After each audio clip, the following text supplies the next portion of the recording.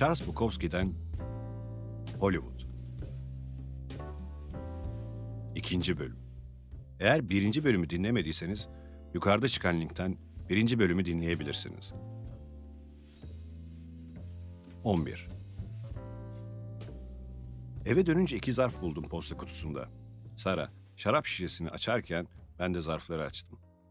Bir takım şiirler ve bir not. Çinaski, senin üstüne işemeli. Eskiden büyük bir yazardın. Artık bir bok değilsin. İhanet ettin. Kendini sattın.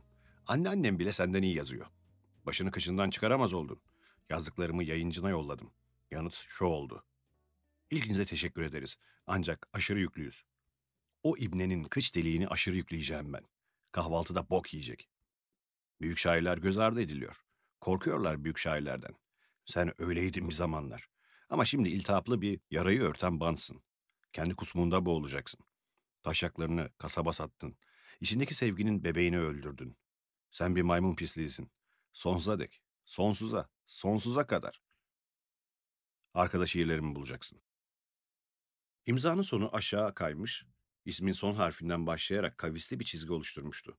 Altında çizilmiş bir surat vardı. Zarfın içi şiir doluydu. Hiçbiri daktilo edilememişti. Mavi çizgili sarı bir kağıda, mavi mürekkeple, aceleci bir yazıyla yazılmışlardı. Sara elindeki şişeyle gelip bardakları doldurdu. Charles Manson dedi. Fazla para istememeleri nedeni buymuş. İyi ki fotoğrafları hatırladın. Sara, Herald Examiner'ı açtı. Ben de ilk şiiri okudum. Şair. Katlederler şairi. Yakarlar şairi. Önemsemezler şairi. Nefret ederler. Ama ay bilir. Şairi. Orospular da bilir. Acısını şairin. Ve verirler kendilerini parasız. Yalarlar taşaklarındaki kılları. Kutsal dualarla şair asla ölmeyecek. Ölümde bile ayın içinde oturup parmak atar evrene. Şair oynayışta. Emerim çilek memelerini, yalarım kıllarını kıçının, yerim vanilya belini. Şafakta o esmer ayak parmaklarımı, hapşırırım kıçımdan. Güler, uyuruz. Diğer metinleri okuma zorunda hissetmedim kendimi. Şiirlerin neye dair olduklarını biliyordum. Şair. Sara başını kaldırıp bana baktı. Birileri okuman için şiir mi yolladı? Evet, ayda üç dört kez oluyor bu. İyi de sen yayıncı değilsin ki. Neden yapıyorlar bunu? Benimle sevgi nefret ilişkisi içindeler. Şiirler nasıl? Kendini olduğundan iyi görüyor ama hepimiz yeriz bu boku. Kadınlar da sana şiir yolluyorlar değil mi? Evet. Bazıları çıplak ve tahrik edici pozlarda çekilmiş fotoğraflarını da yolluyorlar. Böyle yapınca yazdıklarının yayınlanmasına katkım olabileceğini sanıyorlar. Çıkacak bir kitaba küçük bir tanıtım yazısı istedikleri de oluyor. Pis kancıklar. Haklısın. Kadehlerimizi tokuşturduk. Dikip tekrar doldurduk. Diğer zarfı açtım. Win Marbat'tandı. Şirketleşme maddeleri. Okumaya başladım. Avukat dilinde yazılmıştı. Basit anlamını çıkarmaya çalıştım. Şöyle bir bölüm vardı.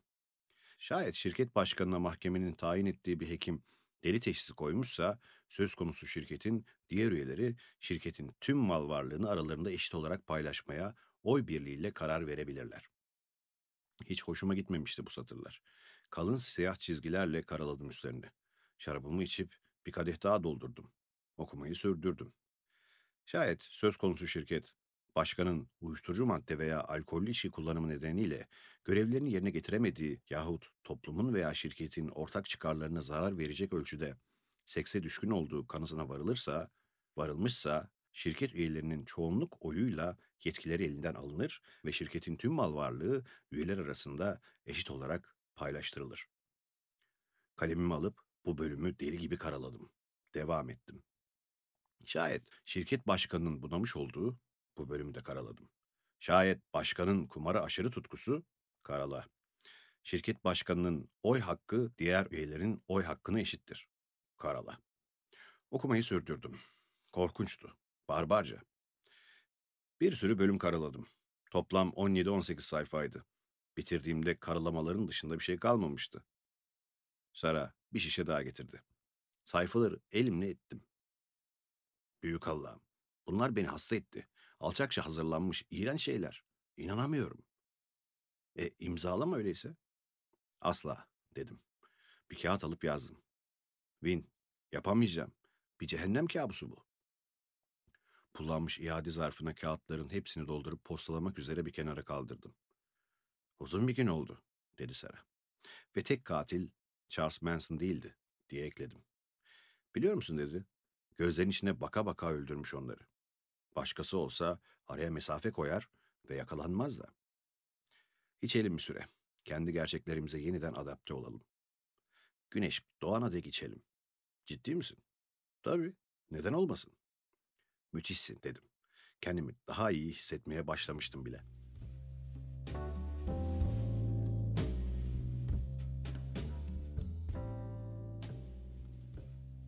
...12. O sıralar yaşadığım yerin bazı hoş yanları vardı. En çok duvarları koyu, çok koyu bir maviye boyanmış olan yatak odasını seviyordum. Koyu, mavi, geçirdiğim nice korkunç gecenin sabahında bana sığınak olmuştu. Bazıları insanı öldürebilecek korkunçluktaydı o gecelerin. Özellikle elime tutuşturulan hapları sorgusuz sualsiz yuttuğum dönemde. Kimi anlarda uyursam ölürüm derdim. Sabaha dek evin içinde dolanır, banyodan salona, salondan mutfağa atardım kendimi. Buzdolabını açıp kapardım. Defalarca. Muslukları açıp kapardım. Banyoya girip oranın musluklarına takılırdım. Sifonu çekerdim. Kulaklarımı çekerdim. Derin nefes alır verirdim. Ancak güneş doğunca emniyette hissederdim kendimi. Sonra lacivert duvarla uyur, iyileşirdim. Evimin bir özelliği de sabahın üçünde, dördünde kapımı çalan uygunsuz kadınlardı. Çekici sayılmazlardı ama zihnimdeki bir tuhaflıktan olmalı bana macera getirdiklerini sanırdım. Aslında çoğunun gidecek başka yeri yoktu. Ortalıkta her zaman içecek bir şeyler bulundurmam ve onları yatağa atmaya uğraşmam neden oluyordu bana gelmelerine. Sarayla tanıştıktan sonra yaşantım bu açıdan çok değişti tabii. Western Bulvarı yakınlarındaki Carlton yolu da değişiyordu. Bir zamanlar alt sınıftan beyazların semtiydi. Ama Orta Amerika'da ve dünyanın başka bölgelerinde yaşanan siyasi sorunlar civara yeni bir insan tipi getirmişti. Erkekler genellikle ufak tefek, koyu veya açık kahverengi tenli ve gençti. Karıları, çocukları, kardeşleri, kuzenleri ve arkadaşları vardı. Hepsi birlikte evleri ve avluları doldurmaya başlamışlardı. Kalabalık aileler halinde oturuyorlardı. Ben bizim binadaki birkaç beyazdan biriydim. Çocuklar avluda bir aşağı bir yukarı koşuşturuyorlardı. Yaşları iki ila yedi arasında değişen bir alay çocuk. Bisikletleri de yoktu, oyuncakları da. Kadınları çok seyrek görürdünüz. Dışarı çıkmazlardı. Öyle erkekler de vardı. Bir dairede kaç kişinin kaldığını ev sahibinin bilmesi iyi olmazdı. Dışarıda görünenler yasal kiracılardı. Kirayı onlar ödüyordu. Nasıl geçindikleri meçhuldü. Kısa boylu, zayıf, suskun, gülümseyen adamlar çoğunlukla verandanın basamaklarında aletleriyle kamburlarını çıkararak otururlar, arada bir sigara içerlerdi. Kıpırdamadan saatlerce dururlardı öyle. Bazen külüstür bir araba edinip mahallede ağır ağır dolaşırlardı. Ne sigortaları ne ehliyetleri vardı. Ruhsatlarının da hep süresi geçmiş olurdu. Arabanın frenleri arızalıydı genelde. Sürücüler kavşaklarda durmaz, kırmızı ışıkta geçerlerdi. Ama pek kaza olmaz nedense. Birileri onları korurdu. Arabalar kısa süre sonra çalışmaz duruma gelir ama asla terk edilmezlerdi. Kaldırımlara, kapı önlerine park edilirlerdi. Önce motorlarıyla ilgilenilir, kaputları çıkarılırdı. Bir süre sonra motorları paslanırdı. Sahipleri de lastikleri söküp takozlara oturturlardı onları. Direksiyonlar çalınır korkusuyla çıkarılıp evlere götürülürdü. Benim orada yaşadığım dönemde takoz üstünde duran arabalar iki sıra oluşturuyordu. Adamlar basamaklarda hareketsiz oturmaktan bıkmışlardı. Onlara merhaba der, el sallardım. Bir kez olsun karşılık alamadım. Oturdukları dairelerden çıkmaları gerektiğini bildiren evrakları okuma, yazma bilmediklerini söyleyerek yırtıyorlardı. Ama arada sırada günlük gazeteleri incelerken görüyordum onları. Hayli sağlam ve dayanıklı izlenimi uyandırıyorlardı. Geldikleri yerde yaşadıkları hayata kıyasla şimdi her şey daha kolaydı ne de olsa. Neyse, mali müşavirim bana bir ev satın almamı önermişti. Beyazların oturduğu bir mahalle aramıyordum ama her taşınmamda kuzeye ya da batıya doğru kaymaktaydım. Bu işler belli olmaz. Nihayet birkaç hafta süren arama taramadan sonra bir ev bulduk ve ayda 789 dolar taksitle satın aldık. Önünde büyük bir çit vardı ve bahçesi önde olduğu için sokaktan bir hayli içeride kalıyordu. Saklanmak için bayağı iyi bir yerdi. Merdiveni bile vardı. Üst katta bir yatak odası, banyo ve çalışma odası, yapacağım bir başka oda bulunuyordu. O odada eski bir çalışma masası bırakmışlardı. İri, çirkin bir şey. 40 yıl sonra çalışma masam oluyordu. Evet, korkuyordum. Diğerleri gibi olmaktan korkuyordum. Daha da kötüsü bir senaryo yazma işi almıştım. Lanetlenmiş miydim? Yoksa kuruyana kadar emilecek miydim? Pek öyle gelmiyordu bana. Ama kim öyle gelmiştir ki? Sarayla birkaç parça eşyamızı taşıdık yeni evimize. Büyük an gelmişti. Daktilomu masaya yerleştirip bir kağıt taktım. Hala çalışıyordu. Küllüğümü, radyomu ve şişemi koymak için bol bol yer vardı. Tersini söyleyen olursa inanmayın. Hayat 65'inden sonra başlar.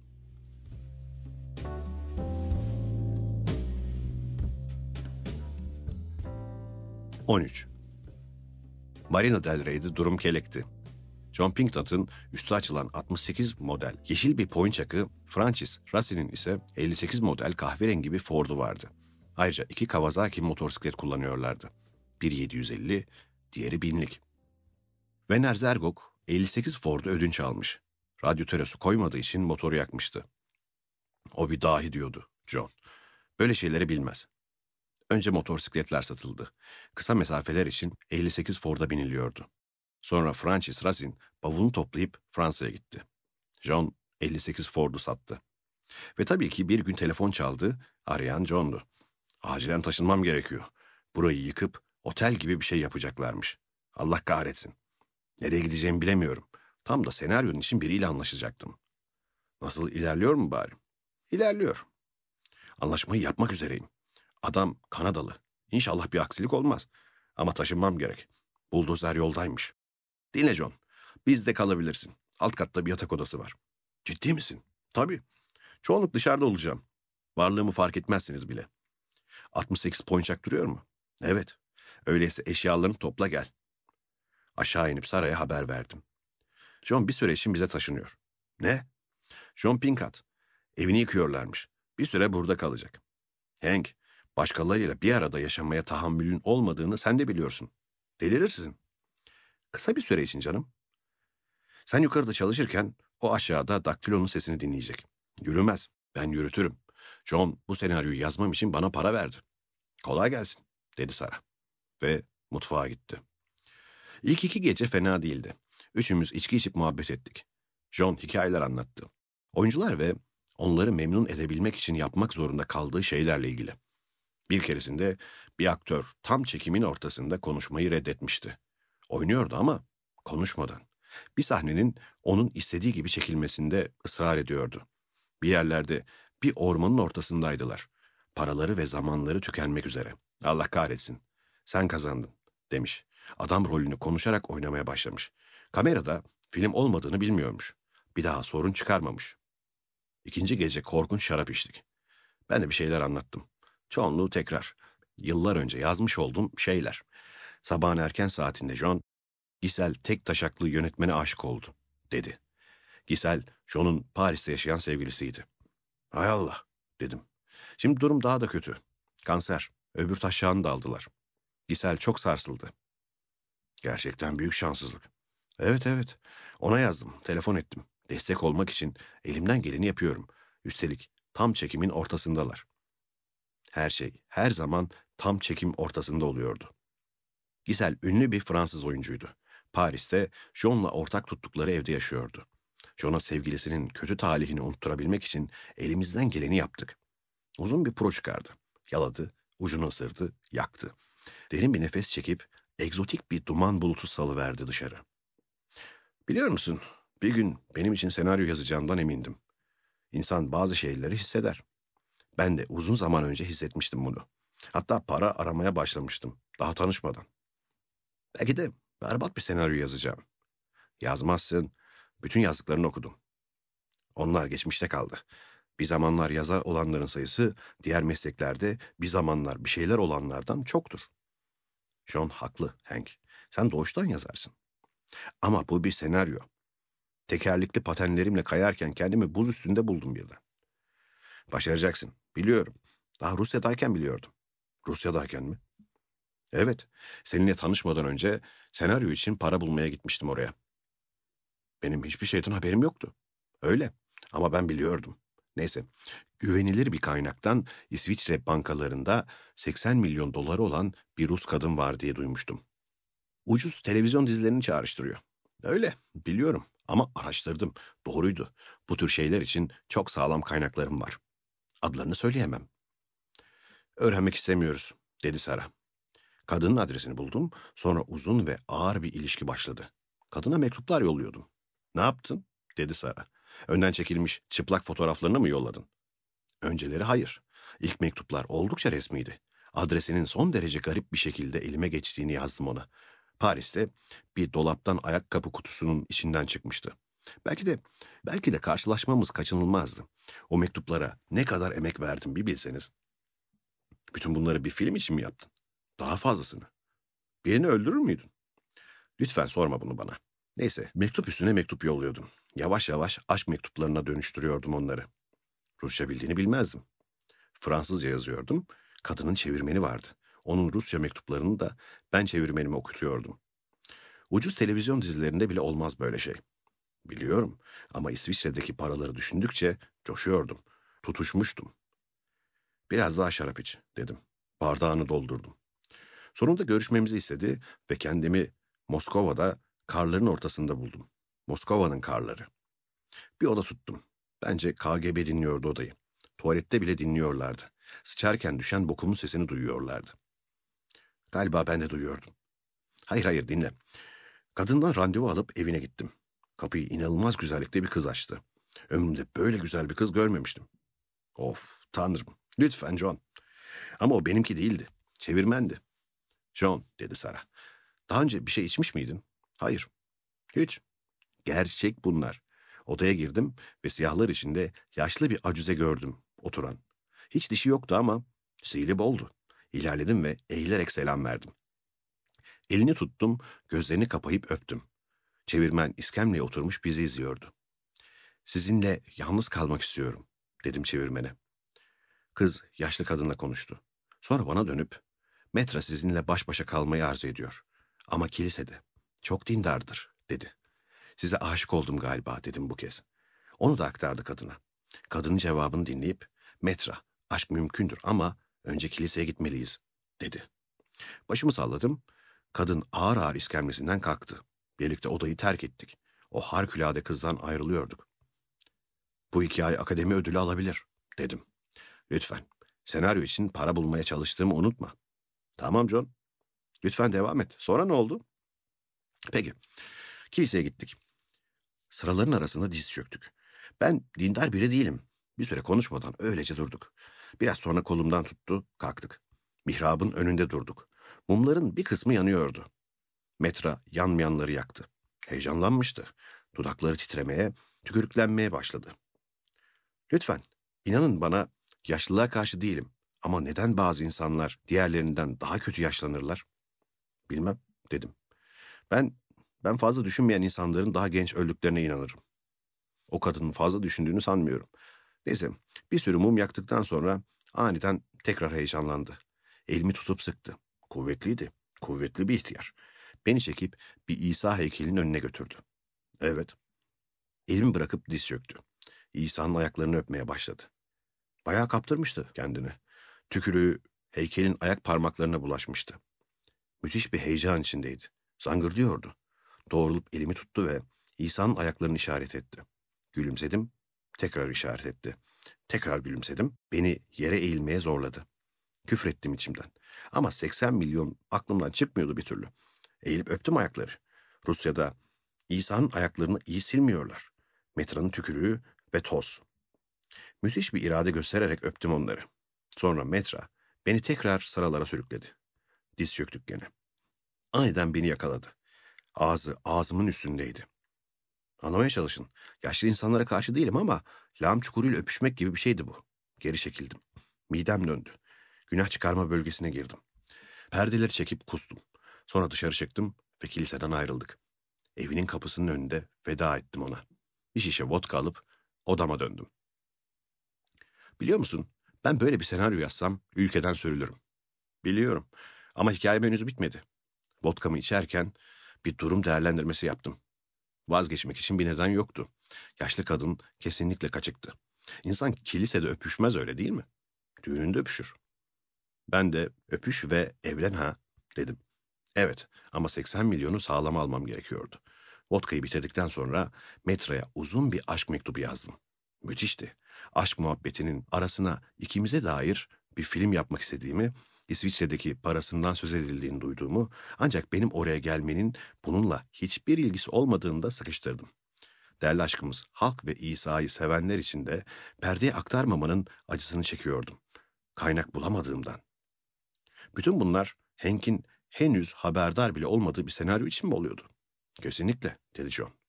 Sen delisin, dedim. Belki. Neyse, yaşlı kadın benim aşk mektubumu aldı ve para çekmek için İsviçre'ye gitmeyi kabul etti. O arada iki kez daha kiliseye uğradık. İsa'nın ayakları öpüldü, mumlar yakıldı ve o korkunç öpüş. Sonra adamımdan bir haber geldi. İsviçre'de 80 milyon doları olan kadın başkasıymış. Onunla aynı adı taşıyormuş.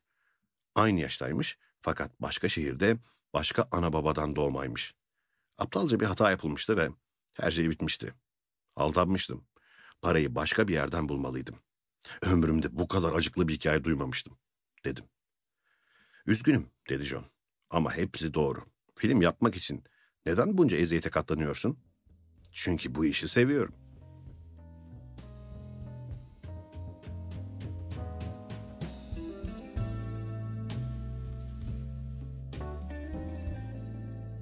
On dört. Birkaç gün sonra gene Danny Server'ın stüdyosundaydık. Biri alkolizm ve sefilhaneler üstüne bir film yapmış, demişti John. Gidip bir göz atsanıza. Gittik. John, Sara ve ben. İçeri girdiğimizde insanlar koltuklarına oturmuşlardı. Bar kapalıydı.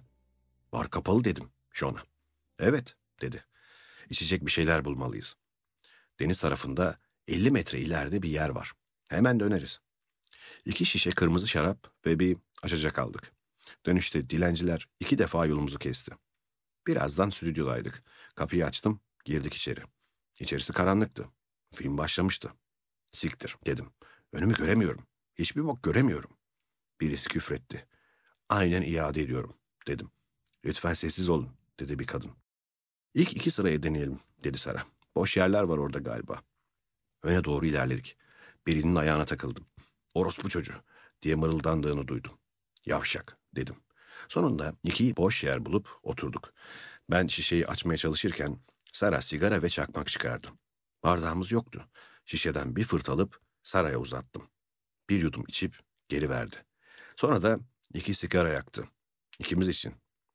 Hades'ten Dönüş filminin senaristi bir zamanlar bir televizyon dizisinin yapımcısıydı.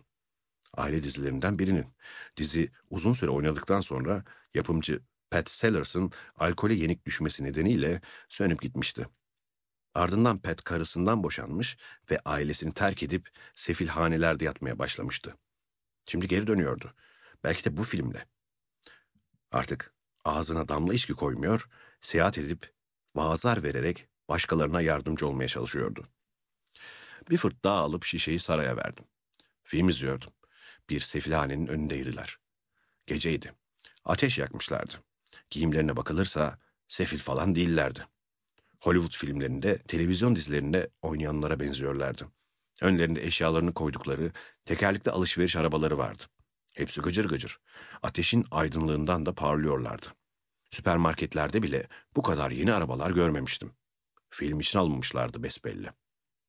Şişeyi ver dedim saraya. İyice kaldırıp bir güzel asıldım. Bir azar daha işittim. İki ayrı kişiden. Bu insanlar çirkin dedim saraya. Nedir dertleri? Bilmiyorum. Tekrar filme ve tekerlekli arabalarıyla ateşin önünde oturan tiplere döndüm. Bir tanesi bir şeyler söylüyor, diğerlerini dinliyordu. Sabah kalkınca yattım yatağı tanıyamazdım. Nerede olduğumu bilmezdim. Giyinip dışarı çıkar, bakınmaya başlardım. Arabamı nerede bıraktığımı bir türlü hatırlayamazdım. Gün boyu aradığım olurdu. Hey, burası güzel dedim. Defalarca geldi bu benim başıma. Birileri memnuniyetsizliğini ifade ettiğine. Sarhoşluk yüzünden defalarca kolese girdim. Sık sık cüzdanımı kaybederdim. Dişlerim kırıldı. Sonra arkadaşım Mike sarhoşken bir trafik kazasında öldü. O zaman aklım başıma geldi. Sara bir yudum daha içti şaraptan. Artık huzurluyum. İyi uyuyorum. Kendimi faydalı biri gibi hissetmeye başladım tekrar. Ve İsa ile uçuyorum. Şeytanın sonabileceği hiçbir içki uçuramaz insanı böyle. Adamın gözlerinde yaşlar birikmişti. Bir fırt daha aldım. Sonra bir şiir okudu. Yeniden doğdum. Yeni doğmuşlara katıldım. Kötülüklerden arınıp kardeşlerime sığındım. Yeniden doğdum. Başını öne eğdi. Alkışladılar. Ve sonra kadın konuşmaya başladı. Partilerde içme alışkanlığı edinmiş, ardından evde de içmeye başlamıştı. Çiçekleri kuruyup gitmişti. Su vermediği için. Bir tartışma sırasında kızının yüzünü çakıyla çizmişti. Kocası da içiyordu artık. İşinden kovulmuştu. Kadın bir gün onun yüzünü de çakıyla çizmişti. Bavulunu ve kredi kartlarını alıp arabasına binmiş ve gazlamıştı. Motellere takılıyordu. İçki, sigara ve televizyon. Vodka içiyordu. Bayılıyordu vodkaya. Bir gece yatağını yakmıştı. Motele itfaiye gelmişti. Sarhoştu. Üstünde geceliği vardı. İtfaiyecilerden biri kalçalarını ellemiş, o da çantasını kapıp arabasına atlamış. Saatlerce sürmüştü. Ertesi gün öğleye doğru Broadway ile 4. caddenin kavşağındaydı. Yolda iki lastiği patlamıştı. Lastikler erimiş, araba jantlarının üstünde gitmişti. Asfaltta derin izler bırakarak. Böylece gözaltına alındı kadın. Günler geçti, ne kocası ne kızı gelmişti. Yalnızdı. Bir gün doktorla otururken adam ona neden ısrarla kendini mahvetmeye çalışıyorsun diye sormuş ve bunu sorarken yüzü değişmişti. İsa'nın yüzü belirmişti. Kadın kurtulmuştu. İsa'nın yüzü olduğunu nasıl anlamış? Dedim yüksek sesle. Yahu kim bu adam diye sordu biri. Şişe boşalmıştı. İkinciyi açmıştım. Sonra başka biri anlattı hikayesini. Ateş hala yanıyordu. Kimsenin yakacak ilave etmesi gerekmemişti. Etrafta onları rahatsız edebilecek başka ayyaş da yoktu. Konuşan hikayesini bitirdikten sonra arabasından çok pahalı bir gitar çıkardı. Bir yudum alıp şişeyi saraya verdim. Adam gitarını akord ettikten sonra çalıp söylemeye başladı. Sesi hiç detone olmuyordu. Eğitilmiş olduğu belliydi. Şarkıya kaptırmıştı kendini. Kamera hareketlendi. İnsanların yüz ifadelerini yakalıyordu. Büyülenmiş yüzler. Kimi alıyordu, kiminde şefkatli bir tebessüm beliriyordu. Şarkıcı susunca coşkulu, içten bir alkış koptu. Ben böyle sefilhane görmedim, dedim Sara'ya. Film devam ediyordu. Başkaları da konuştu. Bazılarında daha da pahalı gitarlar vardı. Sonra büyük final geldi. Bir yıldız kaydı. Yukarı bakan insanların üstünde yay çizerek. Sessizlik. Ve bir adam şarkı söylemeye başladı. Çok geçmeden bir kadın katıldı. Sonra biri daha, biri daha. Hepsi şarkının sözlerini biliyordu. Bir sürü gitar çıkmıştı ortaya. Umuda ve birliğe dair bir dörtlük. Film bitmişti. Işıklar yandı. Perdenin önünde, küçük sahnede Pat Sellers belirdi. Alkışladılar. Berbat görünüyordu. Uykulu ve cansız. Gözleri boş boş bakıyordu.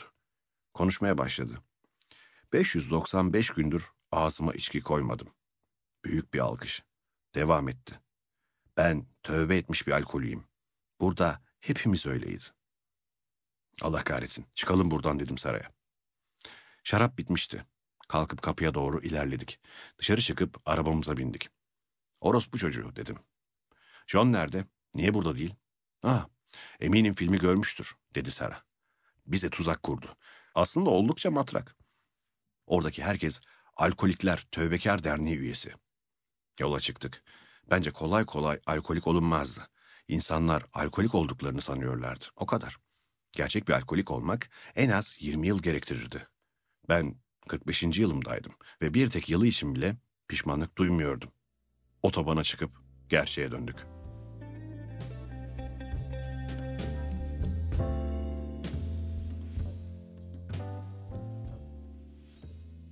On beş. Senaryo daha yarımdı. Üst katta IBM'in başında oturuyordum. Sara yatak odasındaydı. John aşağıda televizyon seyrediyordu. Öylece oturuyordum. Şarap şişesini yaralamıştım. Daha önce hiç yazma problemim olmamıştı. Yıllardır en ufak bir tıkanıklık yaşamamıştım. Yazmak her zaman kolay olmuştu benim için. Radyo dinleyip içkimi yudumlarken kelimeler geliverirdi. John'un daktilo sesine kulak verdiğini biliyordum. Bir şeyler yazmalıydım. California State Long Beach Üniversitesi'nde İngilizce dersi veren bir arkadaşıma mektup yazmaya başladım. 20 yıla yakın zamandır mektuplaşıyorduk. Selam Harry. Nasıl gidiyor? Burada atlar iyi. Geçen gün fena halde akşamdan kalmaydım. Ancak ikinci koşuya yetişebildim. Biri on veriyordu. Onunla kazandım. Artık yarış formu kullanmıyorum. Herkes kullanıyor ve bir bok beceremiyor. Yeni bir sistem geliştirdim. Ama sana açıklayamam. Biliyorsun, ileride bir şey yazamaz olursam tamamen at yarışından geçinebileceğimi düşünüyorum. Hadi, sana sistemimi anlatayım. Bir gazete alıyorum. Her gün farklı bir gazete. Tanrıları şaşırtmak için. Tahmin yapanlardan birini alıp seçimlerini sıralıyorum. Diyelim ki sekizli koşuyor. Elimdeki programda her atın yanına adamın sıralama numarasını yazıyorum. Örneğin birinci at 7, ikinci at 3, üçüncü at 5, dördüncü at 1, beşinci at 2, altıncı at 4, yedinci at 8, sekizinci at 6. Sistemime gelince her at için tahmincinin sıralama numarasının altında kalan bahis oranını saptarsın. Eğer birden fazlaysa en düşük olanını seçersin. Mesela 7. sırada yer alan birinci at 1'e 4 veriyorsa onu 4. sırada yer alan ve 1'e 3 veren 6. ata tercih edersin. Eğer 4. at 1'in altına inerse yani 4'e 5 veya daha düşük o koşuyu pas geçersin.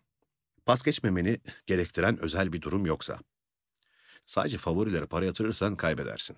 Bu sistem lisede milli güvenlik dersinde okuduğumuz zırhlı silahlar kılavuzunu hatırlayarak buldum. İçinde havan topları üstünde bir bölüm vardı. Sene 1936. Radarlar ve elektronik aletler henüz yok. Kitap, Birinci Dünya Savaşı dolayısıyla kaleme alınıp savaştan çok sonra basılmıştı. Neyse, top mermisini yollamak için gereken hesabı herkese danışıp ortalama alarak yapıyorlardı. Yüzbaşı sordu. Evet Larry, düşman ne kadar uzakta? 625 metre komutanım. Mike, 400 metre komutanım. Barney, 100 metre komutanım. Slim, 800 metre komutanım. Bill, 300 metre komutanım. Sonra ortalama alıyorlardı. Bu örneğin 445 metredir. Atış yapıyor ve düşmana büyük kayıplar verdiriyorlardı. 30 yıl sonra bir gün hipodromda otururken bu kitap geldi aklıma. Aynı sistem neden at yarışlarına uygulamayayım diye düşündüm ve uyguladım. Genellikle başarılı da oldum. Problem insanın doğasında. Bir süre sonra sıkılıp sistemin dışına çıkmaya başlıyorsun.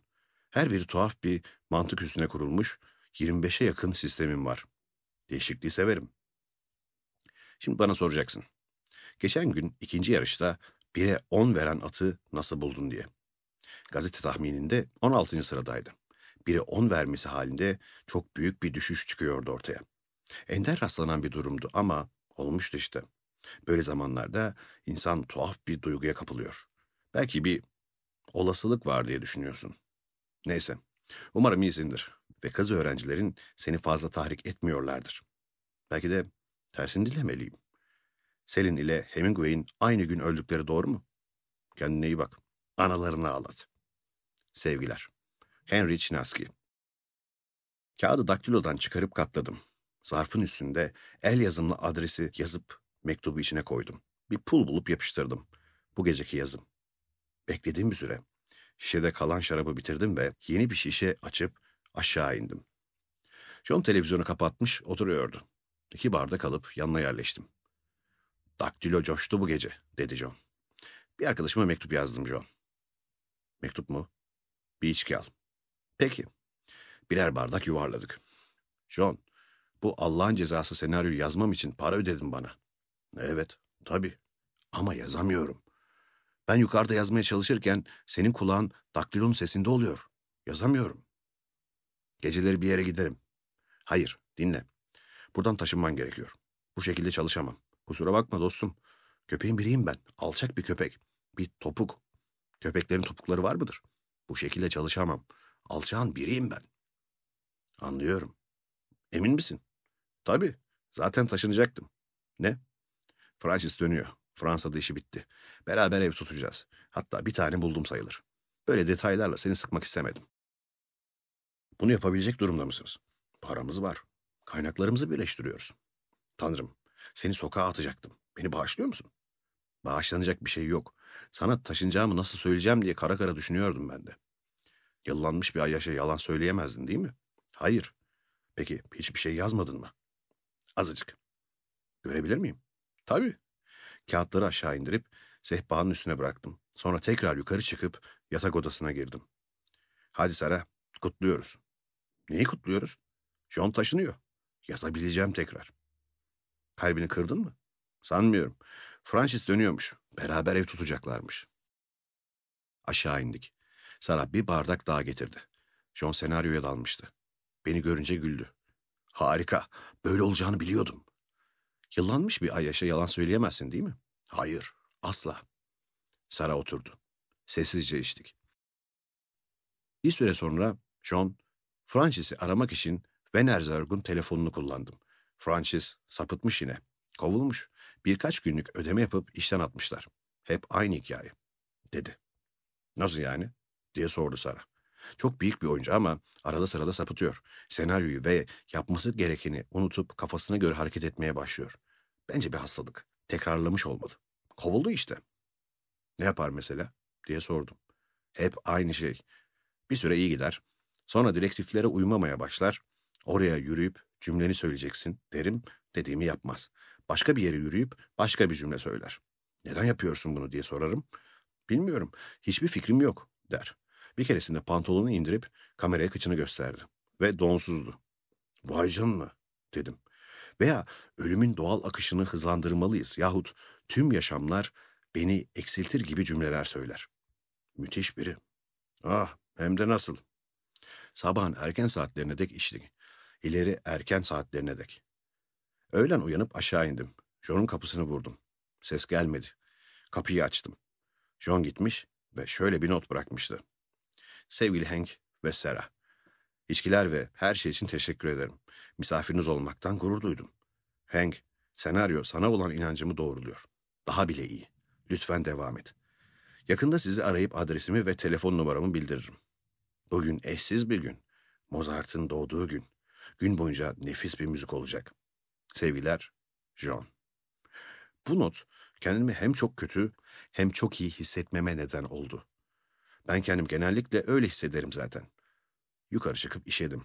Dişlerimi fırçaladım ve yatağa Sara'nın yanına döndüm.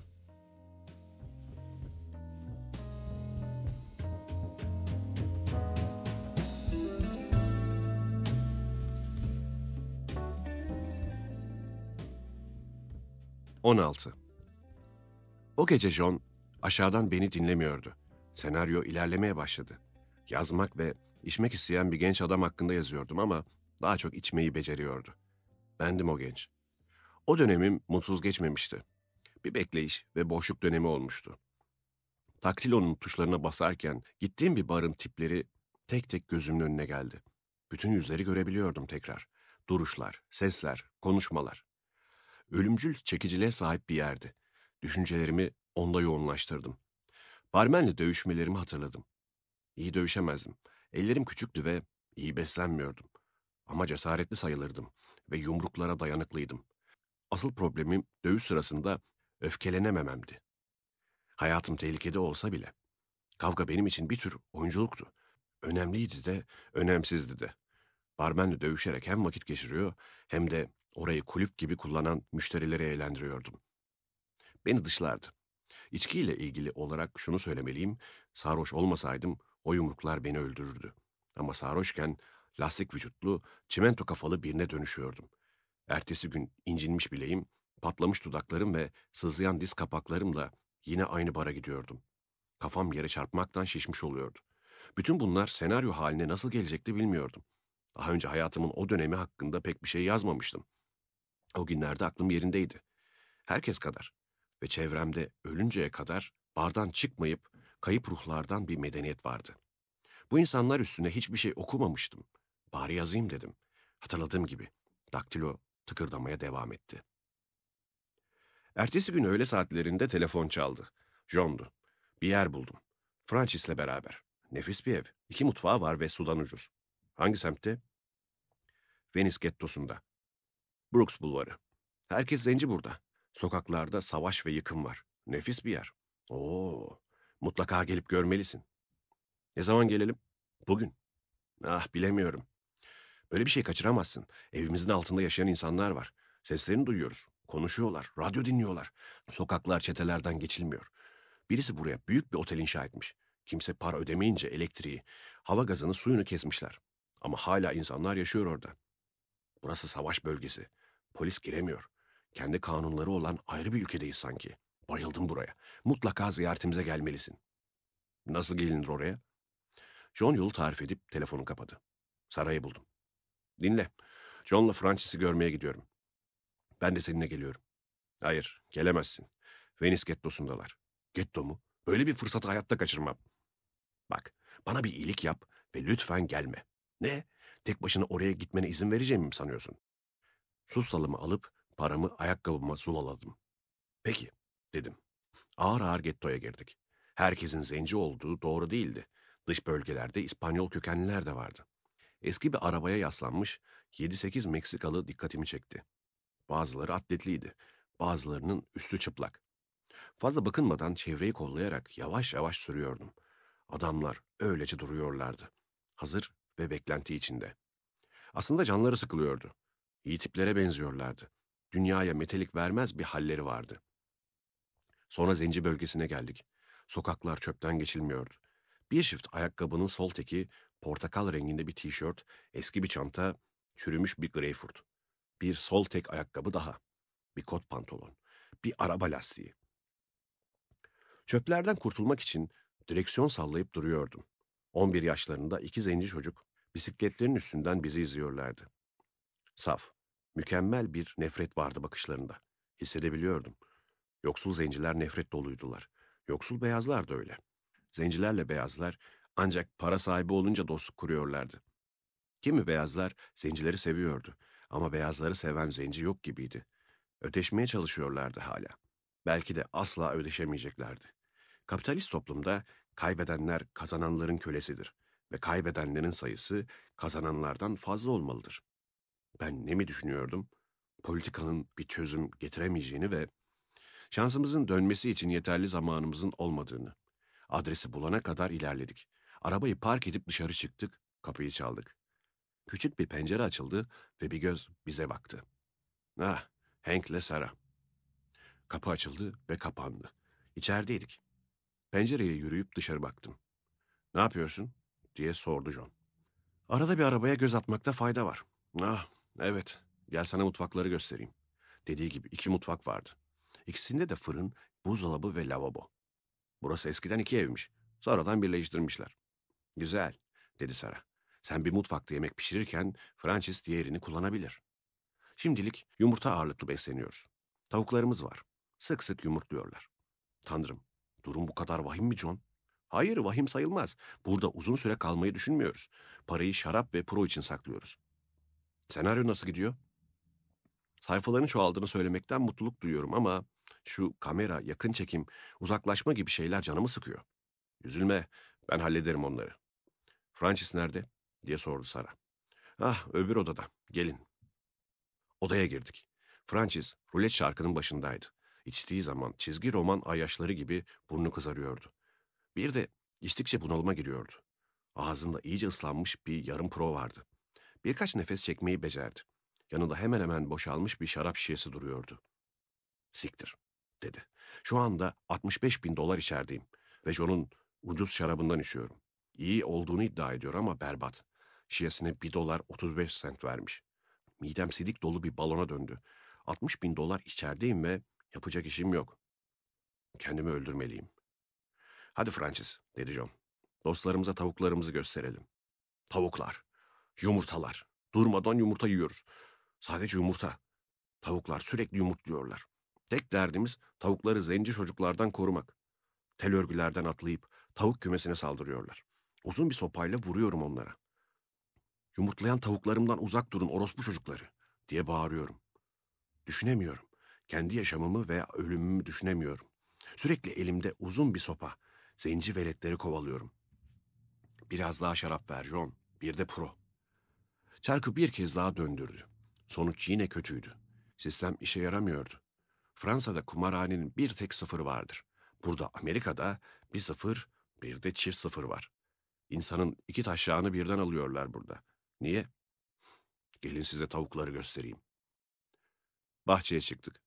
Tavuklar ve kümes orada duruyordu. Francis kümesi kendi yapmıştı. Böyle becerileri vardı. Ama tel örgü kullanmamıştı. Kenarlara parmaklık koymuş, kapıya da kilit vurmuştu. Her gece yoklama yapıyorum, dedi. Cecil, orada mısın? Gıt gıt gıt. Bernat, orada mısın? Bir gece, Nicole, diye sordum. Ses yok. İnanabiliyor musunuz?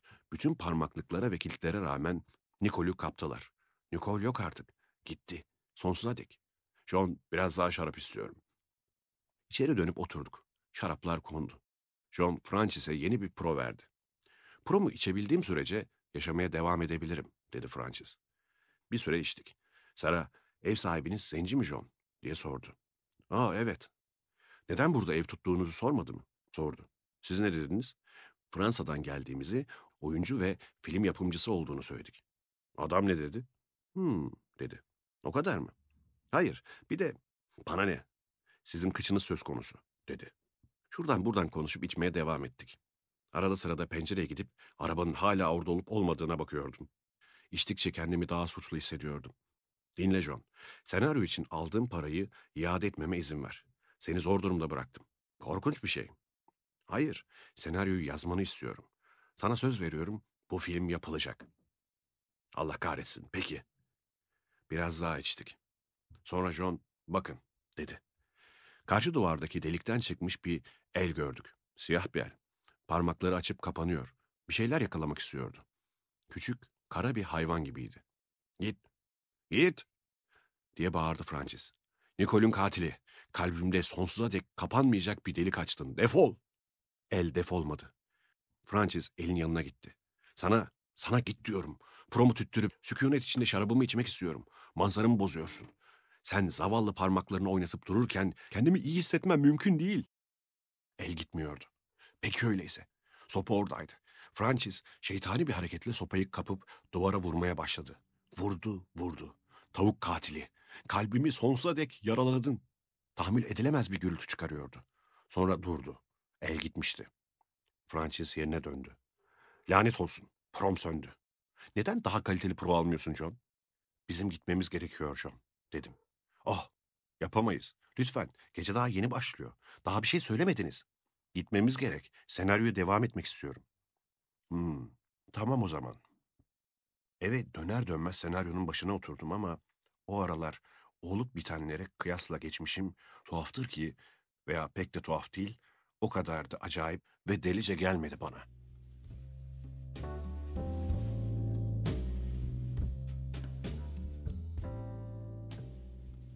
On yedi. Senaryo iyi gidiyordu. Yazmak hiçbir zaman zor olmamıştı benim için. Radyoyu açıp klasik müzik bul, bir sigara veya pro yak, şişeyi aç. Gerisi, gerisini daktilo hallederdi. Benim sadece orada olmam yetiyordu. Yazmak, hayatın çok az şey sunduğu zamanlarda yaşamaya devam etmemi sağlıyordu. Bu yüzden daktilo başındaydım. Hıçımı tımarhaneden, sokaklardan ve kendimden kurtarmak için. Eski sevgililerimden biri bir gün şöyle bağırmıştı bana. Gerçeklerden kaçmak için içiyorsun. Elbette güzelim, diye yanıt vermiştim. Neyse, senaryo iyi gidiyordu. Roman, öykü veya şiir yazarken birkaç gece ara verebilirdim ama senaryonun başına her gece oturuyordum ve sonra bitirdim. John'u aradım. Becerebildim mi bilmiyorum ama bitti. Harika. Gelip alırdım ama burada öğle yemeği partisi gibi bir şey var. İçki, yemek, misafirler. Aşçı Francis, senaryoyu buraya getirebilir misin? İsterim de oralara arabayla gelmek beni korkutuyor. Hadi Hank, senin külüstür Vox'unu kim niye çalsın? Yeni bir BMW aldım John. Ne? Geçen gün aldım. Mali müşavirim vergiden düşebileceğimi söyledi. Bu pek mümkün değil. O öyle dedi. Amerika'da paranı harcamazsan elinden alırlarmış. Benimkini alamazlar artık. Çünkü yok. Ama senaryoyu görmem lazım. Yapımcılara gösterebileceğim bir şey olmalı elimde. Peki. Getto'nun girişindeki süpermarketi biliyor musun? Evet. Orada park edip seni ararım. Beni alırsın tamam mı? Tamam. John arabasıyla yanaştığında Sarah'yla 320i BMW'mizin yanında bekliyorduk. Atlayıp gettoya doğru yola çıktık. Bir BMW aldığını öğrenince okurların ve eleştirmenlerin ne diyecekler? Orospu çocukları. Beni her zaman olduğu gibi yazılarımla yargılamak zorundalar. Genellikle öyle yapmazlar. Bu onların problemi. Senaryo yanında mı? İşte burada dedi Sara. Sekreterim dedim. Bir çırpıda yazdı dedi Sara. 3.20 iyilik bir dahiyim ben dedim. John evin önüne çekti. Kapıya birkaç araba park edilmişti. Öyle vaktiydi. Bir buçuk gibi. Eve girip arka bahçeye geçtik. Parti başlayalı epey olmuştu. Tahta masalarda bir sürü boş şişe diziliydi. Tamamen yenmemiş kavun dilimleri güneşin altında pek hüzünlü bir görünüm sergiliyorlardı. Üstlerinde sinekler konup kalkıyordu. Görünüşe bakılırsa misafirleri en az iki saattir oradaydılar. Bölünmüş bir partiydi. Birbirlerini görmezlikten gelen 3-4 kişilik kümeler. Avrupalı ve Hollywoodlu tiplerden başka insanlar da vardı. Onlar özelliksizdiler. Oradaydılar ve kalmaya da kararlı görünüyorlardı. Hava nefret kokuyordu. Ne yapmalıydım? Bilmiyordum. John biliyordu. Bir şişe şarap açtı. Francis'in yanına gittik. Kocaman aşçı şapkalarından biri vardı başında. Üstelik çamur lekelerinden birkaç kez yere düştüğü anlaşılıyordu. Bizi gördü. Ah, ah sizi bekliyordum. Geç kaldınız. Ne oldu? Böyle şeyleri hiç anlayamam. Kusura bakma Francis. Arabayı süpermarketin oraya park etmek zorunda kaldık. Size biraz tavuk sakladım. Alsanıza. İki kağıt tabak alıp içlerine biraz tavuk koydum. Teşekkürler Francis. Oturduk. John da bize katıldı. Francis'in canı sıkkın. Tavuklarından birini kestiğim sanıyor. Bir tavuktan bu kadar bacak, kanat, göğüs çıkar mı? İçince tavuğumu öldürdün diye tutturuyor. Parçaları süpermarketten aldım oysa. Francis çok hassas, dedi Sara. Hem de nasıl, dedi John. Şimdi sizi hırsızlara karşı koruduğu için böbürlenip işleri daha da zorlaştırmaya başladı. Her tarafta küçük teller ve elektronik sinyaller yerleştiriyor. Akıl almaz alarmlar. Geçenlerde osurdum, bir tanesi ötmeye başladı. Atma John. Atmıyorum. Bütün bunlar yetmiyormuş gibi Francis geçen gün dışarı çıkıp arabayı çalıştırdı. Geri vitese taktı. Ama araba hareket etmedi. O da geri vitesi bozuldu sandı. Ve ve arabadan inince iki arka tekerleğin yerinde yeller estiğini gördü. İnanılır gibi değil. Aynen böyle. Arabanın arkası bir taş yığının üstünde duruyordu ve tekerlekler gitmişti. Ön tekerlekleri bırakmışlar ha. Evet. Yani tekerlekler ve lastikleri mi aldınız? Hayır. Eskilerini hırsızlardan geri aldık. Ne? dedim. Bir içki daha alabilir miyim? John içkileri tazeledi. Kapıyı açtılar. Tekerlekleri ister misiniz? Biz aldık dediler. İçeri girmelerini söyledim. Francis sizi öldüreceğim diye başladı. Sus dedim. Birlikte şarap içip pazarlık ettik. Sonunda anlaştık. Tekerlekleri ve lastikleri içeri getirip yere bıraktılar. Hepsi bu. Kaça patladı size? 33 dolara. İki tekerlek ve lastik için fazla sayılmaz bence. Fena değil dedim. Aslında 38 dolara geldi. Tekerlekleri tekrar çalmasınlar diye 5 dolar daha verdik. Ya başkaları çalarsa? 5 dolar onları kimsenin çalmayacağını garantilermiş. Öyle dediler. Ama bu sadece tekerlekler için geçerliymiş. Arabanın diğer parçaları için değil. Başka anlaşmalar da yapıldı mı? Hayır. Sonra gittiler ama radyomuz da gitti o arada. Gözümüzü onlardan ayırmamıştık ama radyoyu götürmüşler. Nasıl becerdikleri konusunda hiçbir fikrim yok. Standart boyutlarda bir radyo. Nerelerine saklamış olabilirler. Kapıdan nasıl çıktılar? Anlayamıyorum. Gel de hayran olma. Evet. John ayağa kalktı. Senaryo elindeydi. Şimdi şunu saklayayım. Çok özel bir yerim var. Bu çalışman için sana teşekkür ediyorum Hank. Bir şey değil. Kolay para. John senaryo öyle gitti. Tavuğuma baktım. Ben bunu yiyemem. Kömür gibi yanmış. Ben de yiyemem. Tel örgünün yanında bir çöp tenekesi var. Çaktırmadan dökelim şunları. Çöp tenekesinin yanına gittik. Tel örgünün arkasında. Kara yüzlerin içinden bize bakan bir sürü küçük göz vardı. Hey, bize de ver şu tavuktan. Bir kanat versene orospu çocuğu. Tel örgüye doğru yürüdüm. Bunlar yanmış, kimse yiyemez. Küçük bir el uzandı. Tavuk parçası gitmişti. Bir el daha uzandı. Sara'nın tavuğu da gitmişti. İki ufaklık bağırarak koşuyor, diğerleri kovalıyordu. Bazen beyaz olmaktan nefret ediyorum dedi Sara. Beyazların yaşadığı gettolar da var, zengin zenciler de. Kıyaslanmaz. Evet ama ben ne yapabilirim? Yap bir şeyler. Cesaretim yok. Kendi beyaz kışın beni yeterince uğraştırıyor. Şuradaki neşeli gruba katılıp şarap içelim biraz. Her şeye tek cevabın var. İçki. Hayır. O benim hiçbir şeye cevabım. Partideki bölünmeler aynen sürüyordu. Bu yıkık dökük, arka bahçede bile Malibu bölgesi, Beverly Hills bölgesi ve gettolar vardı. Örneğin özel dikilmiş şık elbiseler. Giyenler bir anda duruyorlardı. Herkes kendine uygun kişileri buluyor, diğerleriyle temas kurmak için hiçbir çaba göstermiyordu. Bazılarının Venice'in zenci gettosunda gelmiş olmaları bile şaşırtıcıydı. Değişiklik olur diye düşünmüşlerdi herhalde. Ortamı daha da berbat hale getiren zengin ve ünlü olanların beyinsizliği ve kancıklığıydı. Her nasılsa hep dört ayak üstüne düşmüşlerdi hayatta. Çoğu yeteneksizdi. Ruhsuzdu. Ayaklı bir gübre yığınından farksızdı. Ama halk onları müthiş buluyor, yüceltiyor, tanrılaştırıyordu. Sığ zevkler, derin zevklerden çok daha fazla milyarder yaratmıştır. Mesele kimin daha çok oy aldığıydı sonuçta. Köstebeklerin ülkesinde kral da köstebekti. Öyleyse kim bir şey hak ediyordu? Kimse bir şey hak etmiyordu. Francis masalardan birinde oturuyordu. Yanına gittik. Hüzünlenmişti. Kötü görünüyordu. Bizi zor tanıdı.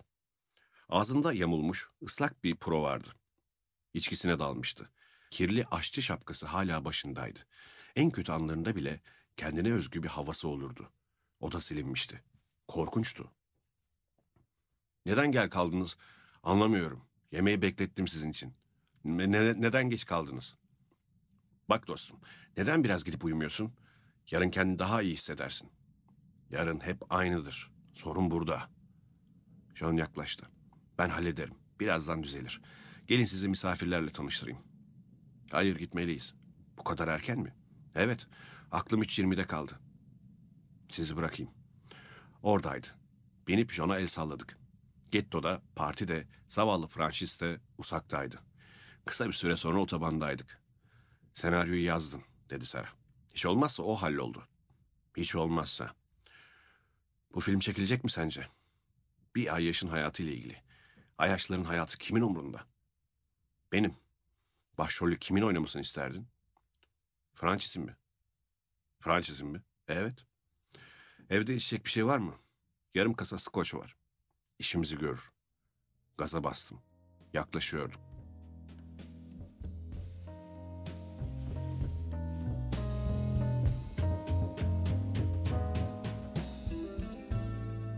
On sekiz. John kolları sıvadı. Senaryonun kopyalarını çıkardı. Yapımcılara, ajanslara, oyunculara postalandı. Ben de şiirle oyalanmaya başladım tekrar. Bir de at yarışları için yeni bir sistem geliştirdim. At yarışları benim için önemliydi çünkü onlar sayesinde yazar olduğumu unutuyordum. Yazmak tuhaf bir şeydi. Hem ihtiyaç hem de bir tür hastalık. Uyuşturucu gibi bir şey. Müthiş bir tutku kısacası. Gel gelelim kendimi yazar olarak düşünmek hoşuma gitmiyordu. Belki de çok fazla yazar tanıdığımdan. İşleriyle değil, birbirlerinin kuyusunu kazmakla uğraşıyorlardı. Evde kalmış, kuruntulu dedikoducu kızlar gibiydiler. Burunları büyüktü. Sürekli yakınıp birbirlerini bıçaklamaya çalışıyorlardı. Yaratıcı insanlarımız bunlar mıydı? Hep böyle mi olmuştu? Galiba. Belki de yazmak bir yakınma biçimiydi. Kimisi yakınmayı daha iyi beceriyordu. Neyse, senaryo elden ele dolaşıyor, alıcı bulamıyordu. İlginç diyenler vardı. Ama bu tür filmin izleyicilerden ilgi görmeyeceğini söylüyorlardı. Bir zamanlar olağanüstü özellikleri olan birinin alkole yenik düşmesi ilginç olabilirdi ama sadece bir ayyaş veya bir grup ayyaşı anlatan bir film yapmak saçmaydı. Onları nasıl yapıp nasıl öldükleri kimin umrundaydı? Sonra John'dan bir telefon geldi. Dinle. Mac Austin senaryoyu okudu ve beğendi. Filmi yönetmek istiyor. Başrol içinde benim düşündüğüm oyuncu düşünüyor. Kim? Tom Pell. İyi ayyaş. Olur. Pell senaryoya deli oldu. Yazdıklarına bayılıyor zaten. Her şeyini okumuş. O kadar hevesli ki. Bir dolara bile oynarım diyor. Aman Allah'ım. Yalnız filmi Mac Austin yönetmesi konusunda ısrarlı. Bense bu Mac Austin denen heriften hiç hoşlanmam. Düşmanımdır. Neden? Bazı sürtüşmelerimiz oldu. Öpüşüp barışsanız olmaz mı? Asla. Mac Austin benim filmimi asla yönetemez. Peki John, unut gitsin. Hayır bir dakika. Sizin evde bir toplantı ayarlamayı düşünüyorum. Mac Austin, Tom Pell, ben ve bir de sen tabii. Belki Tom Pell'i Austin olmadan oynamayı ikna edebilirsin. Büyük oyuncudur biliyorsun. Peki, gelsinler. Pel Ramona'yı da getirecek mi? Hayır. Tom Pel Ramona ile evliydi. Ünlü pop şarkıcısı. Peki ne zaman gelirsiniz? Yarın akşam sekiz buçukta. Senin için uygunsa. Çok hızlısın. Bu oyunda hızlı değilsen ölürsün. Satrançtaki gibi mi? Hayır. Gerizekalıların oynadığı bir dama oyunu gibi. Bir gerizekalı kazanıyor ha. Ve bir gerizekalı da kaybediyor. Sonra John'la McAustin arasında ne geçtiğini öğrendim.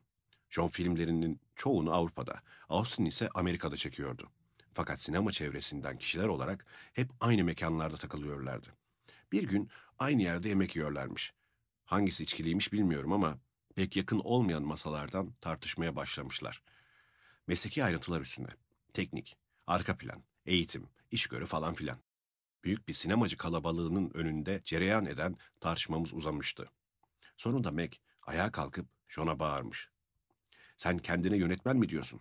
Trafik bile yönetemezsin sen. Bilemiyorum. Trafik yönetmek bayağı yetenek isteyen bir iştir. Neyse. Birileri vaktiyle topluluk içinde Mac'e trafik bile yönetemeyeceğini söylemişti. O da bu iltifatı başkasına yakıştırıyordu. Hollywood'da nefret söz konusu olunca her şey mübahtır. Yarı güvenilir kaynaklardan Mac ile John arasında daha sonra da bir takım tartışmalar olduğunu duydum. Neyse. Buluşma ayarlanmıştı. İç mekan, yazarın evi. Akşam sekizi çeyrek geçe. John biraz erken gelmişti. Austin'in halini göreceksin, dedi. Uyuşturucu ve alkolü bıraktı. Patlamış bir lastikten bir farkı yok. Fırlatılıp atılmış bir çoraba dönüşmüş. Bence kendini kurtarmış olması takdir edilmeli, dedi Sara. Cesaret ister. Öyle olsun, dedi John. 8.35 gibi geldiler. Tom deri bir ceket giymişti. Mac'in üstünde ise kenarları deriyle süslü koyun postundan bir ceket vardı. Yarım düzine kadar altın zincir takmıştı. Tanışma faslından sonra Tom'a bir bardak şarap verdim. Sehpanın etrafına dizildik. Konuyu Tom açtı. Senaryo okudum ve çok sevdim. Bir an önce dişlerimi geçirmek istiyorum orospu çocuğuna. Tadını aldım bile. Tam bana göre bir rol. Sağ ol. Şimdilik sulanan tek ağ seninki, dedim. Tom'la ikimizin finansörü de var. Biz başlamaya hazırız, dedi Mac. İçki içmek istemediğine emin misin Mac? diye sordum. Hayır, teşekkürler. Sana soda getireyim dedi Sara. Yoksa çayı mı tercih edersin? Bir soda iyi olur. Sara Mac'i rahatlatacak bir şeyler getirmeye gitti. Doğal soda bulunduruyorduk evde. En iyisi. İçkimi bitirip bir tane daha doldurdum. Herhangi bir taviz veya anlaşma anlamsız gelmeye başlamıştı bana.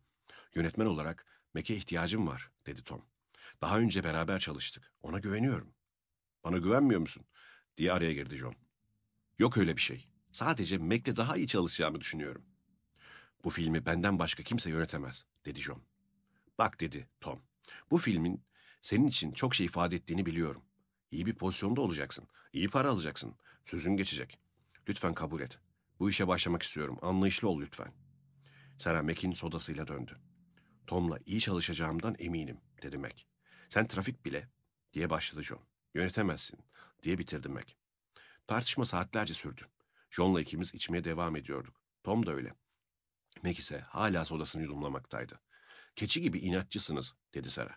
Bu işin bir yolu vardır mutlaka.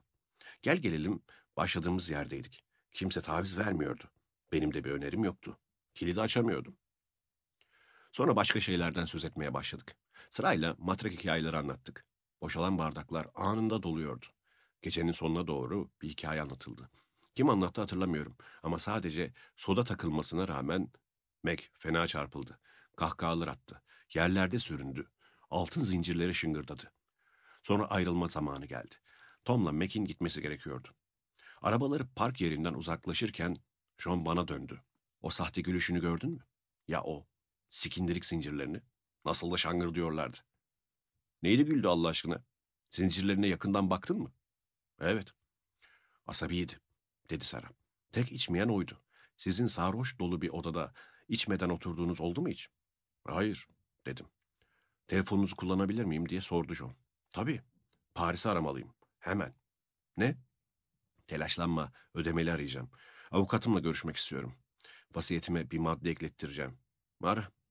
John telefona doğru yürüdü ve bağlantı için gerekli işlemlere girişti. Ben de kalkıp bardağımı doldurdum. Sonra yerime döndüm. Ne feci, dedi Sara. Film suya düştü. Bir şeyin hemen hemen gerçekleşmesi hiç gerçekleşmemesinden iyidir dedim. Acaba aslında pek emin değilim. John telefonu bağlattı. Epey içmişti ve heyecanlıydı. Konuşmalarını çok rahat duyuyorduk. Paul. Evet. John Pinkat. Evet. Acil. Vasiyetime bir şey ekletmek istiyorum. Hazır mısın? Evet bekliyorum. Bize baktı. Bu çok önemli. Sonra evet Paul. Şu filmle ilgili. Kontrolü bende. Adı Jim Beam'in dansı. Yazarı Henry Chinaski. Güzel. Şimdi söyleyeceklerimi yaz. Ölürsem bu filmi kesinlikle Mac Austin yönetmeyecek. Onun dışında herhangi biri yönetebilir. Anladın mı Paul? Evet teşekkürler Paul. Evet iyiyim. Senin sağlığın nasıl? İyi. Mac Austin dışında herhangi biri. Çok teşekkür ederim Paul. İyi geceler. Birer içki daha içtik. John'un gitme vakti gelmişti. Kapıdan çıkarken durdu. O sahte gülüşü fark ettin mi? O altın zincirleri. Evet John. Gece sona ermişti. Kedilerimizi çağırmaya dışarı çıktık. Beş kedimiz vardı. Beşini de içeri almadan uyuyamazdık. Komşularımız gecenin geç veya sabahın erken saatlerinde onları çağırdığımızı duyarlardı. İyi insanlardı komşularımız. Ve içeri girmek için acele etmezler. Uzun süre nazlanır da nazlanırlardı.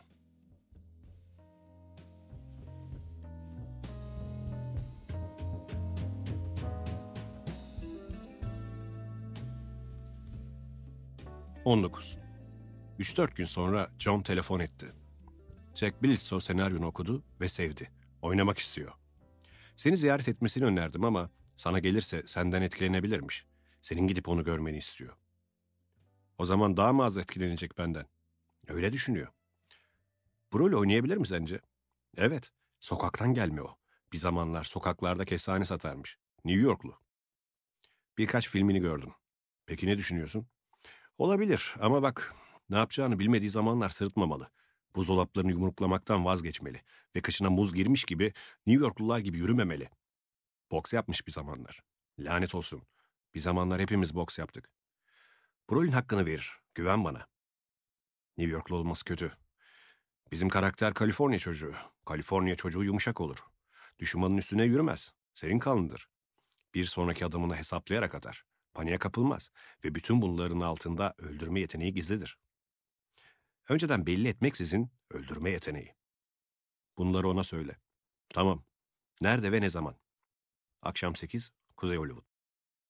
Bir dakika kadar gecikmiştik. Dar ve karanlık yollarda apartmanı bulmaya çalışıyorduk. Umarım içecek bir şeyler vardır orada. Keşke tedarikli gelseydik, dedim. Vardır orada, dedi Sara. Numaraları geçmek zor oluyordu. Aniden balkonların birinde John'u gördük. Yukarı çıkın. Merdivenleri tırmanıp John'u bulduk. Peşine takıldık. Jack'in sığınaklarından biriydi burası anlaşılan. John kapıyı itti. İçeri girdik. Eski bir kanepeye oturmuşlardı. Jack Bledsoe ile dostu Lenny Fidelo. Fidelo genellikle küçük rollere çıkardı. Jack Bledsoe aynen Jack Bledsoe'ydu. Lenny'nin iri gövdesiyle dikkat çekiyordu. Hayat onu yoğurmuştu. Hoşlandım ondan. Hüzünlü gözler, kocaman eller, yorgunluk, yalnızlık. Daha ne olsun? Tanıştırıldık. Arkadaş kim? diye sordum Jack'e. Başımla Lenny'yi göstererek. Koruman mı? Evet, dedi Jack. John yüce ruhların karşılaşmasını izler gibi durmuş, tebessüm ediyordu. Belli mi olur? İçecek bir şey var mı? diye sordum. Sadece bira. Bira olur mu? Lenny bira almak için başka bir odaya gitti. Sara için üzülmüştüm.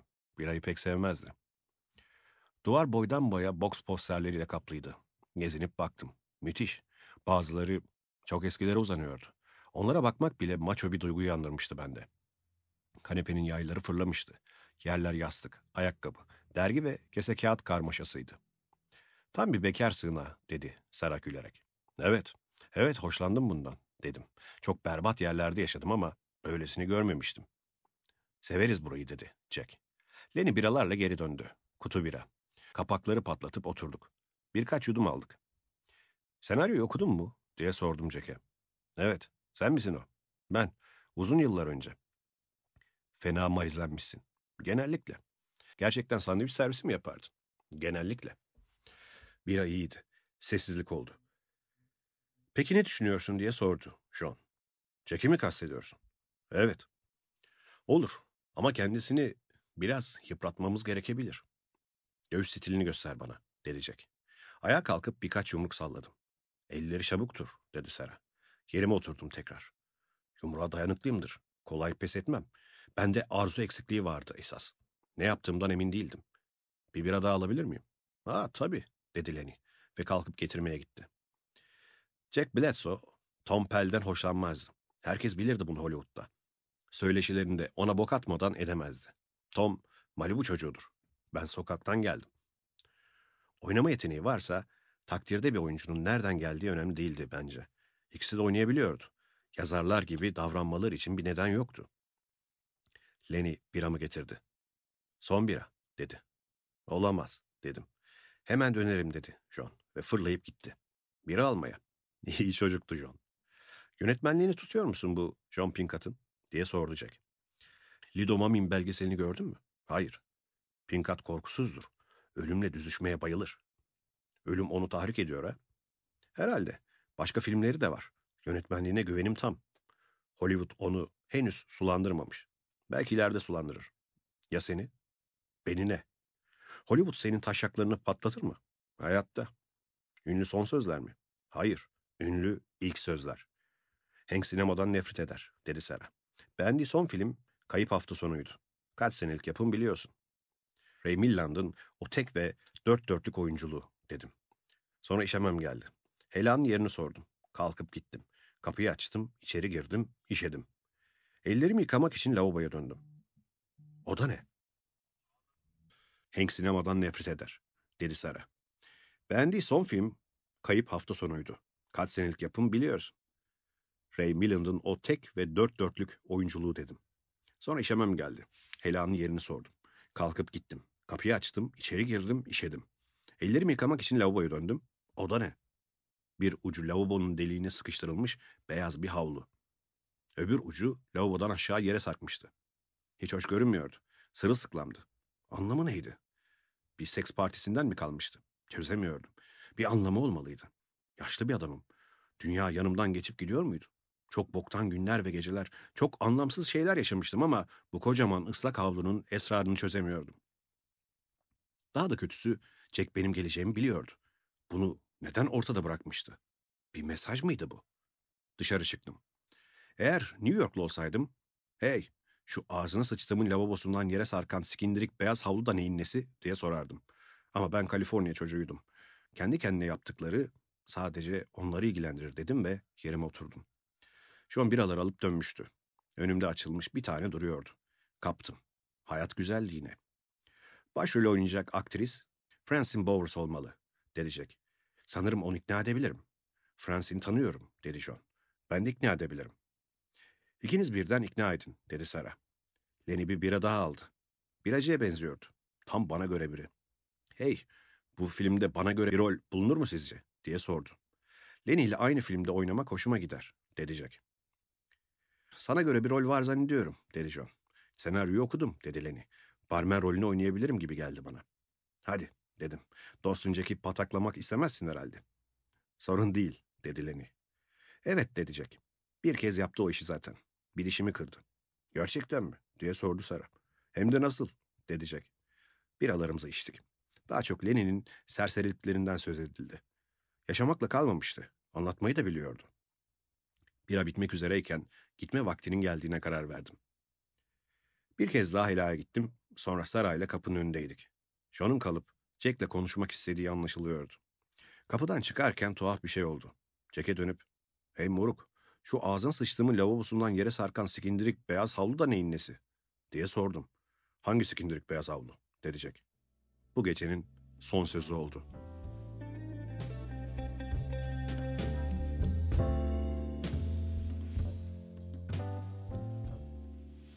Yirmi. Üç dört hafta geçti. Bir gece telefon çaldı. John. Nasılsın? Sara nasıl? Biz de iyiyiz. Sen nasılsın? Hayatta mısın? Evet. Jim Beam'ın dansı da öyle. Francine Bowers senaryoyu okudu ve çok sevdi. Fiyatını düşürmeyi bile kabul etti. Jack de öyle. Ama kimseye söyleme. Tamam. Peki bu indirimler niye? Firepower yapımcılıkla çalışıyoruz. Harry Friedman ve Nate Fishman'la. Çok sıkı pazarlık ederler ama imzalar atıldı. Jack'in ajansı oynat veya öde maddesinde ısrar ettiği için bazı sorunlar çıktı. O da ne? Film yapılsa da yapılmasa da Jack parasını alır anlamına geliyor. Yıldız oyuncuların kontratlarında bu madde vardır. Bu filmin yapılabileceğine inanmak güç. Tom Pell bir dolara oynamaya razıyım demesi çok iyi oldu. Projenin itibarını arttırdı. Keşke Tom oynasaydı. Tom yardım etti. Jack onun bir dolara oynarım dediğini duyunca filmle ilgilendi. Firepower da öyle. Onun sayesinde şansımız açıldı. Hazır cevap. Leo Droscher ne demiş biliyor musun? Kim o? Eski bir beyzbolcu. Şanslı olmayı, iyi olmaya yeğlerim demiş. Galiba biz hem şanslı hem iyiyiz. Belki. Kim bu herifler? Yani şu Firepower'dakiler. Hollywood'da yeniler. Dışlanıyorlar. Kimse çözemiyor onları. Avrupa'da ikinci sınıf filmler yapıyorlarmış. Buraya gelir gelmez düzinelerce film çektiler. Herkes nefret ediyor onlardan. Ama sıkı pazarlık etseler de iş yapmaya hevesliler. Jim Beam'le ilgilenmişler en azından. Evet, hem de kimse ilgilenmezken. Kuzey Hollywood'da koca bir binaları var. Geçen gün uğradım. Harry Friedman masasında oturuyordu. Bledsoe ile Bowers aldınız mı diye sordu. Evet dedim. Tamam dedi. Filmi çekeceğiz öyleyse. Senaryo okumayacak mısınız? diye sordum. Hayır dedi. İlginç adam. Hollywood ondan nefret ediyor. Yazık. Adamı bir görsen kilolu bir tip. Aklıma gelmişken söyleyeyim. Perşembe akşamı bir yerde doğum gününü kutlayacak. Siz de gelin. Ortağı Nate Fishman da orada olacak. Geliriz. Adresi ver. 10 dakika sonra telefon tekrar çaldı. Hank, ben Tim Rudy. Jim Beam'in yapımcılarından. Firepower adına mı çalışıyorsun? Hayır, Sean adına. Biz onun yardımcılarıyız. Ben ve Lance Edwards.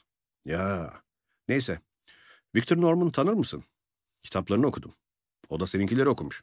Firepower için film yazıyor ve yönetiyor. Partiye o da gelecek. Chateau Mormont'a uğrayıp onunla tanışmak ister misin diye soruyor. Oradan da partiye gidersiniz beraber. O da numarası ne? O perşembe. Chateau Mormont'a gittik. Parkçı arabamızı aldı. Girişe doğru ilerledik. Kel sayılabilecek mütebessim bir adam bekliyordu. Tim Rudy. Tanıştık. Peşinden yürüdük. Kapıyı Victor Norman açtı. Gözlerini sevdim. Sakin ve bilgeydiler. Tanışma faslı. Serhat çok iyi görünüyordu. Norman ona doğru kaykıldı. Elini sıktım. Bar şampiyonla karşılaşır, dedim. Hoşuna gitti. Victor Norman, Amerika'nın belki de en tanınmış romancısıydı. Sürekli televizyona çıkardı. Çabuk ve becerikli bir dili vardı. En sevdiğim yanı feministlerden korkmamasıydı. Erkekliğin ve taşaklılığın Amerika'daki son savunucularındandı. Cesaret isterdi bu. Yazdıklarını her zaman beğenmezdim. Ama olsun, kendi yazdıklarımı da her zaman beğenmem. Buradaki en büyük daireyi indirimli verdiler bana. Reklam olsun diye. Nasılsa hesabı Firepower ödeyecek. Hep birlikte balkona çıktık. Müthiş bir şehrin, müthiş bir görünümü. Serindi dışarısı. Buralarda içecek bir şey bulunmaz mı? diye sordum. Victor'ı takip edip geniş yan odalardan birine geçtik. O odada insan kendini emniyette hissediyordu.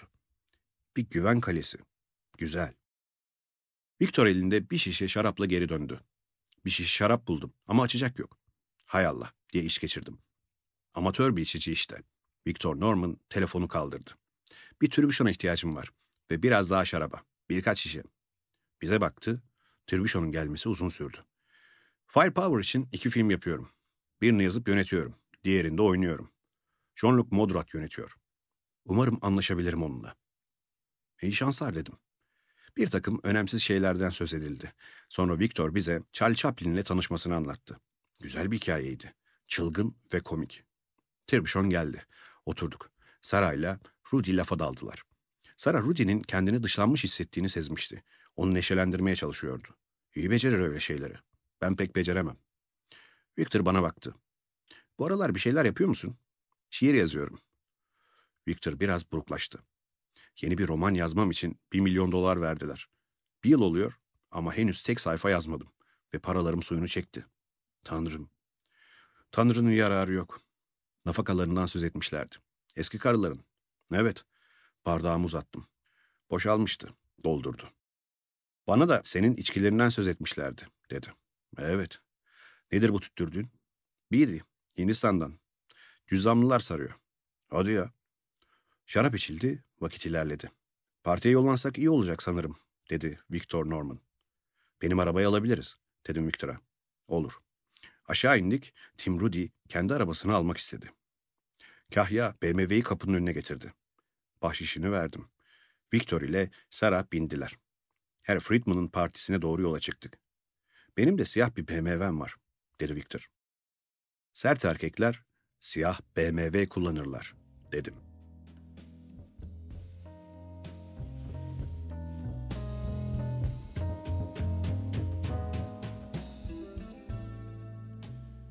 İkinci bölümün sonuna geldik. Üçüncü bölüme geçmek için sağ üst köşedeki linki tıklayabilirsiniz.